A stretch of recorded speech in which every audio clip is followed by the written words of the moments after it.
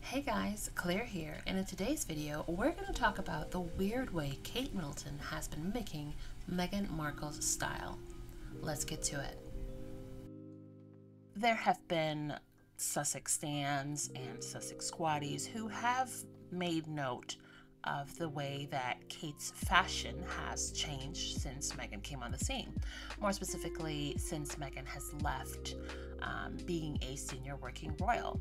Now, anyone who knows how to use Google can tell a very distinct difference between the way Kate dresses now and the way she dressed before.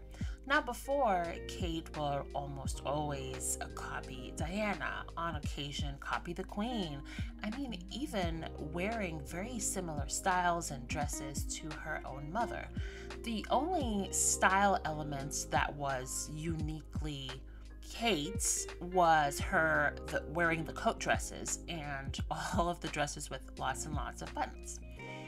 But beyond that, most of her style has been emulating other women, other older women. When Meghan came onto the scene, Meghan was bashed for wearing, well, just about everything. They had a problem with her wearing black nail polish, off shoulder dress. they had a problem with her frosting her legs. They had a problem with her wearing pantsuits.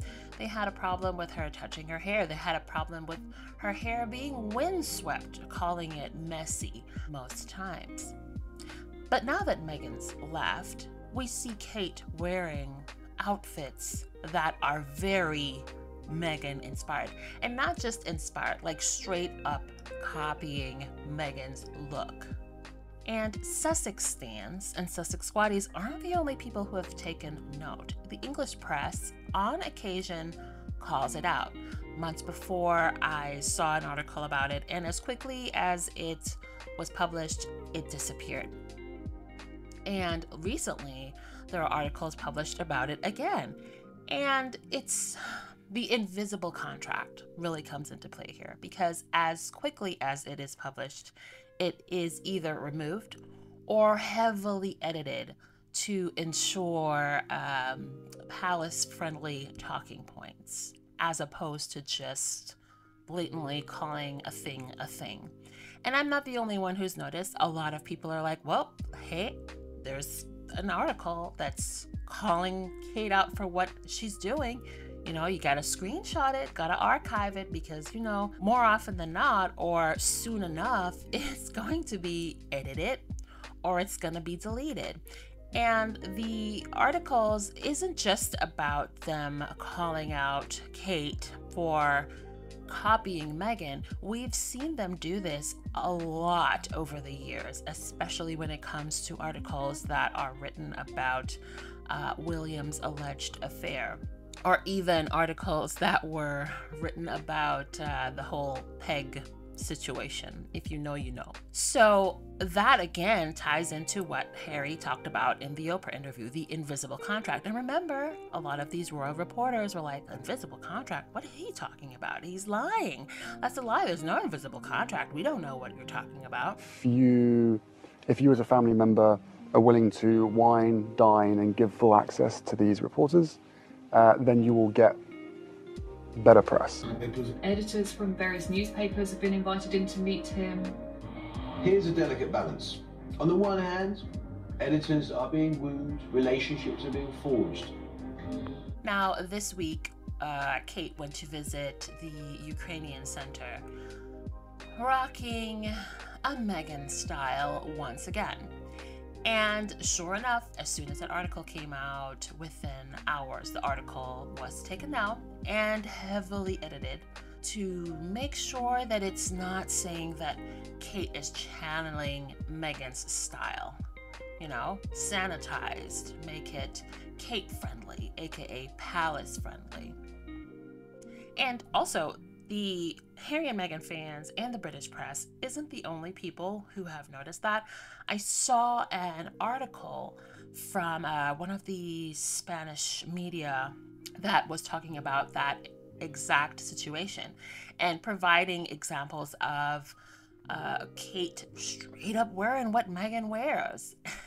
and I'm gonna try to see if I can find the receipt um, and add it in here But the thing is, I don't I don't blame Kate for trying to capture certain essences of Meghan's style, but that's not what she's doing. She's straight up copying it and straight up copying the style of a woman that you dislike, of a woman you've had a hand in making her experience in the UK almost unbearable. And this started long before Meghan and Harry even got married. Let's not forget, Kate made Meghan cry. And since that happened, there has been a million and one different versions of the story when Meghan made it known that that story was a lie and that the opposite happened. And not only did she say that the opposite happened, she said that Kate apologized, she sent her flowers and a note. A note that I'm sure Meghan still has in her possession. And the media, of course, Kate and William aren't going to address this directly, but what they do is not never complain, never explain. They complain through lawyers um, by issuing injunctions against the press, especially if they're talking about things like William's alleged affair, or they'll use third parties to moan and groan and present their talking points. Look, even with the latest thing about the uh, the crown the palace sent their little flying monkeys, the royal reporters, to moan and groan about the unfairness of the crown making Charles look bad. Right? They sent Judi Dench, who is a friend of Camilla, to moan and groan about it as well. So they do complain and they do explain. They don't do it directly, they just have other people do it for them. So when Meghan made it known that Kate had made her cry, they tried to send all of these people to give a million and one different versions of the story. But the thing is, if at any point Meghan did make Kate cry, why would Kate send Meghan an apology, a note, and flowers? You know, and that's a tangible note right there. The note is tangible. So that's why you'll see Kate and William and them will never directly address this because they know there's the note here. Common sense dictates if someone makes you cry, you're not going to send them a note and flowers and an apology. And instead of just saying, well, yeah, you know, she was having a, a bad day and whatnot, no.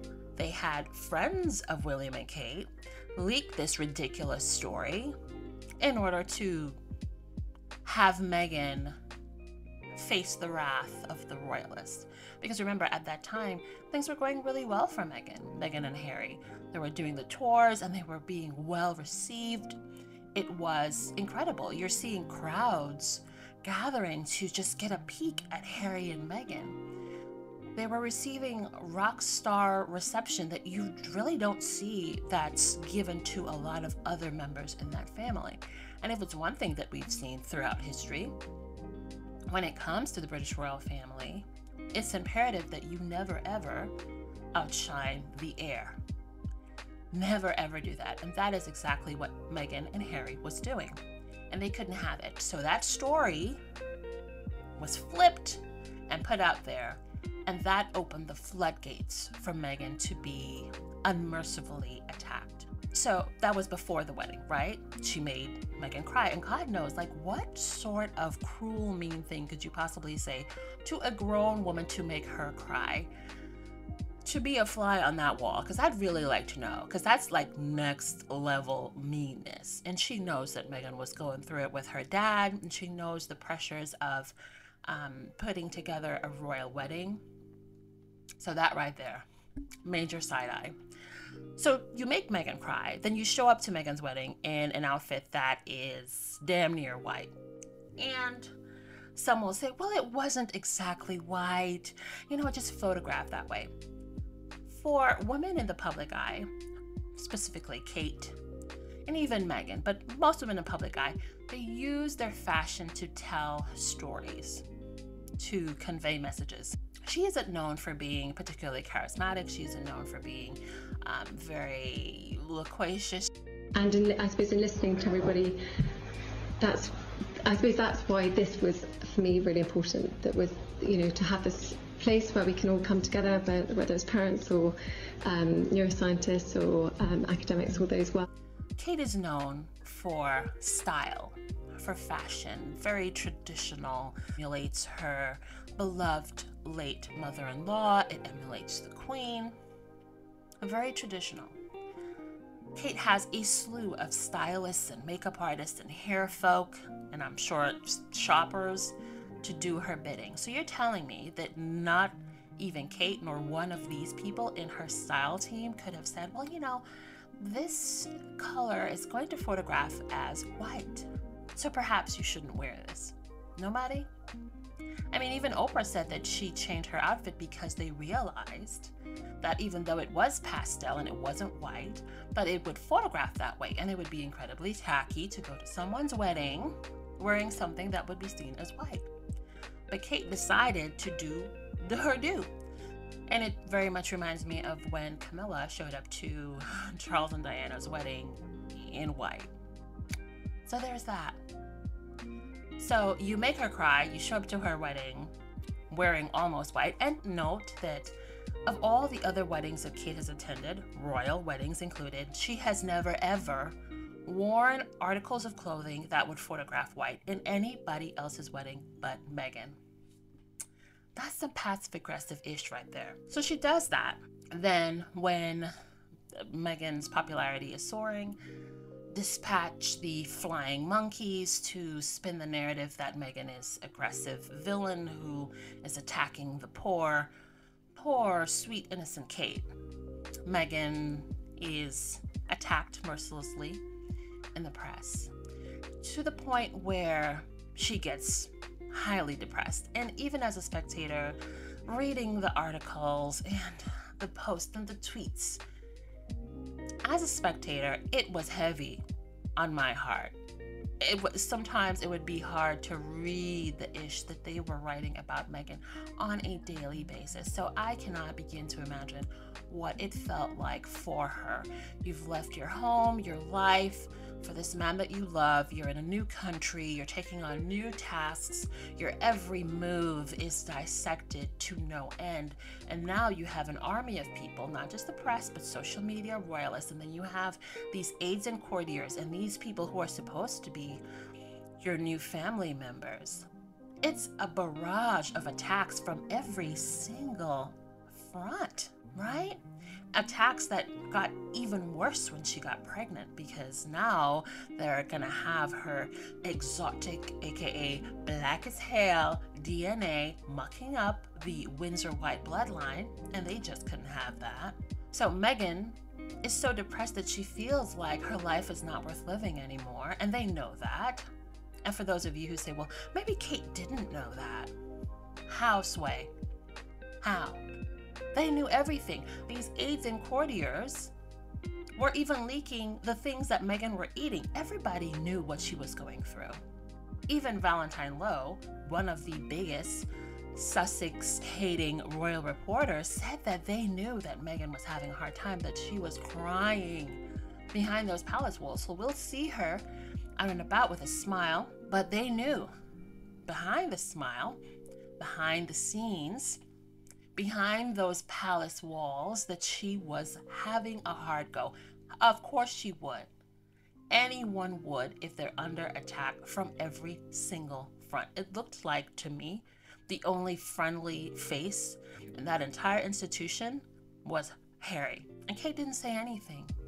And for those of you who will say, well, you know, it's not really Kate's responsibility to say anything. If your people, your staff, and your friends are out here putting out lies that makes you seem good and somebody seems bad and that person is going through it because of those lies or the lies that are told on your behalf amplifies the hatred that that person gets. Any decent human being would say well you know what?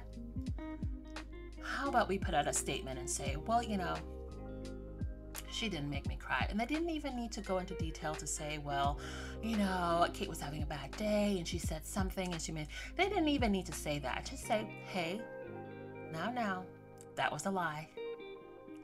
And keep it moving. But they didn't do that. They stayed silent. And one of the people within that family who has benefited the most from the attacks that Meghan has gotten is Kate. Before Meghan came on the scene, Kate was ripped to shreds.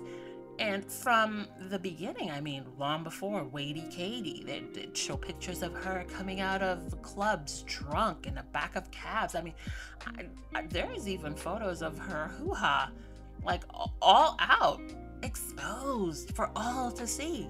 No, I'm not gonna put that on YouTube because I don't want I don't want to get in trouble. But there are lots of articles about them, um, calling her and her sister Pippa the Wisteria sisters, saying like really, really nasty things about them, saying that they're unworthy, um, that Kate was unworthy of William because she's not aristocratic enough, she's not this enough, she's not that enough. So Kate has been through it. And even like right before Meghan came on the scene, remember the media had no problem with calling Kate and William lazy. Duchess Doolittle, that's Kate. Workshy William, that's Prince William. And that wasn't just tabloid fodder, this wasn't just hateful rhetoric. It was true. If you look at the facts, their engagement numbers were sadly lacking. And even to this day, now that they're the Prince and Princess of Wales, they're still lazy as hell. They barely do anything. And when they do, it's sort of like just more sloppy ish. They come out, smile, take some photos, give a, a, dry, boring, uninspiring speech, and then they go back home. And a lot of the times they're not even doing it together anymore. I saw on uh, on Twitter some people were like, "Well, it's it's giving me Charles and, and Diana um, vibes, you know, right before the War of the Waleses began, when things were really sort of uh, breaking down." And also, people will say, well, you know, Kate doesn't explain and she doesn't complain, but that's BS. We've already established that they do complain and explain via third parties. But Kensington Palace, and for those of you who don't know, William and Kate are the principals of Kensington Palace. They're the boss, right? The boss and the boss woman. They complained and had unsavory articles or elements of an article, especially in the Kate the Great uh, article um, from, I believe it was the Tatler. And they had said some not so nice things about Kate. Um, and they even said something about her getting Botox, which I'm just like, who cares, you know? Women in the media, there are always going to be people who talk smack about their physical appearances. I get how that can be annoying, but at the end of the day, like, they've said so many different things and nastier things about other people. Someone saying that you have Botox really shouldn't be that big of a deal, right? But they made sure that that part of the article was removed. They made sure to take out other elements of the article. But you know what they didn't take out? The lie that Meghan made Kate cry. Kate didn't have a problem with that. Kate and her people didn't have a problem with that. So there's been a pattern clearly showing that between the two women, Kate has always been the one who has been the aggressor. So that makes it far more perplexing, off putting, and shady, sinister, just like major side eye. Here's this woman that you don't like. And even when you look at the videos of interactions between Kate and, and Meghan. Meghan's always the one that kind of looks like she's a little, she just doesn't want to get involved in that. She just looks so uncomfortable when she's around William and Kate. Kate has always been the one that has been hella rude, like mean girl to the extreme. Let's not forget her being rude as hell in the Commonwealth service to the point where even American media, different medias globally were like, uh, girl, what the hell? she was rude. Ford Fiesta, Sophie, Mean Girl Wessex was rude too. But has there been any instances where we've ever seen Meghan being rude to Kate? No, not at all. It's always Kate. Look at them doing the walkabout um, before Queen Elizabeth's funeral. Kate. She can't even bear to be civil. You can tell how much he loathes Meghan. Yet you're out here cosplaying that woman? Even trying to mimic some of her mannerisms? Now, I'm not a royalist and I never really cared about that family and what they do. Like I didn't even look at William and Kate's wedding. I didn't pay attention when they had kids. And as much as I liked Harry, I wasn't even invested in his life. I wasn't paying attention to his love life. Whatever information that I got about them was what you see on the the headlines in the US media. And I would see Harry, you know, doing his thing and be like, oh, you know, he seems cool. Reminded me of his mother, just sort of doing his thing, very sociable but I was never been invested in them. There are times where I would see Kate and be like, oh, you know, she looks cute. Now I can't even do that because when you dig and you just look at how dirty they've been to Meghan, I can't even enjoy the pomp and pageantry of the British royal family. I can't enjoy a fashion moment from Kate. It just it irritates me to no end. And I'm glad that people are are seeing it and are calling it out. Like that's some next level mean girl passive aggressive behavior. I see a lot of people on social media saying it's it's giving them single white female energy, and it really really does. Why are you out here trying to copy someone that you don't like, someone that you have gone out of your way to be rude to, to be disrespectful to? And now she's the, the patron of um, mental health for maternity for pregnant women. And i'm just like you you didn't care when this woman was getting attacked when she was pregnant. None of you people cared. It's incredibly disingenuous. And even now that Meghan left and she's back in the US and her and Harry are just doing their thing, they're trying to create this new era of Kate um, that in many ways, like I said, is very Meghan inspired from the styles, the constant wearing of pantsuits, her trying to convene roundtables and and give more public speeches. Now you can dress like Meghan, but she just doesn't have the commanding presence, and her public speaking is mediocre. Sometimes, uh, I mean, she mumbles. Okay, she's she's not the best public speaker. But the odd thing about it, like I said, is you hate Meghan, but you're trying to be like her, but you're not. This past week, there was a panel discussion, um, as there always is on Talk TV, that dives deeper into each and every episode of Meghan's podcast. so, yeah, just like us, Sussex stands, they pay attention to everything Meghan does. Whenever Kate or William or anybody else goes on podcasts, you don't see them dissecting it the way that they do um, when they focus on every single episode that Meghan does. That's to tell you, they're no longer senior working royals, but people still pay attention to everything that they do. The haters, as much, if not even more, than the fans.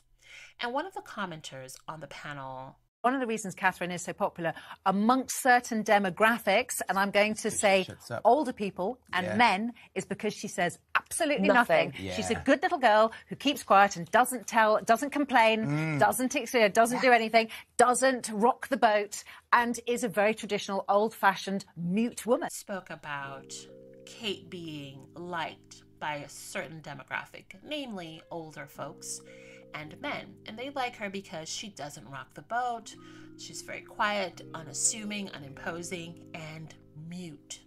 She even said something about her being a nice little girl, which I find so odd. The way that this woman is infantilized by the, that echo system of royal fandom. Like she's a 40 something year old mother of three. She's not a girl. Okay? what is going on here? But, and of course, you know, Kate fans were up in arms. How dare you say that she is mute? She is not. But she is, and you don't have to dig very deep to find countless articles calling Kate lazy, calling her quiet, calling her silent. Um, and not just in the UK media, in the US and other media sources as well. Kate's entire adulthood and royal career has been do not upstage William. You smile sweetly, you support him, much like Camilla. You know, you, they don't outshine Charles and William. They are the ever unassuming, unimposing spouse, which is very different to Harry and Meghan's dynamic. You'll see Meghan sweetly staring up at Harry whenever he's giving his speeches or doing whatever. You can tell that woman is smitten.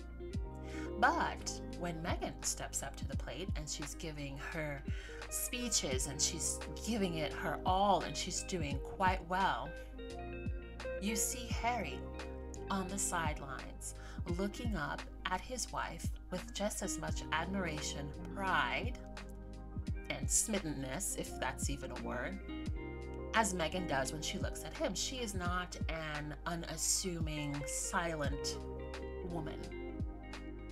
Not that I think that that is what Harry wanted to begin with. If he wanted that, he would have his pick of any of those women, and he didn't. He knew exactly what he was getting in Meghan.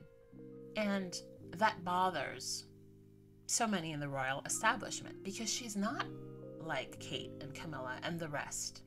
She really isn't. So now that she's not there, because they've essentially run her out of the country, run her out of the institution, it's even more sickening to see them trying to mold Kate into a version of Meghan when her entire royal career is just about sitting, being meek, being mild, make sure you have pretty hair.